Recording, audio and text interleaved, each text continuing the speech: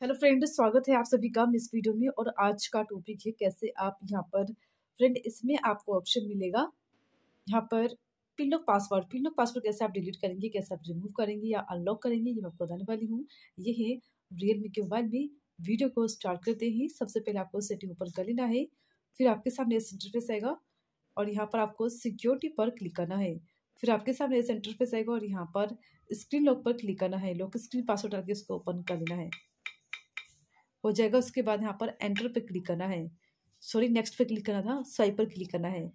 Yes remove पर click करना है तो ये रिमूव हो चुका। तो इस तरीके से आप रिमूव कर सकते हैं, इसका इस्तेमाल कर सकते हैं। अगर आपको वीडियो अच्छा लगा है तो लाइक कीजिएगा शेयर कीजिएगा सब्सक्राइब कीजिएगा। मिलते हैं नेक्स्ट वीडियो में एक न्यू टॉपिक के साथ, तब तक के लिए नमस्कार।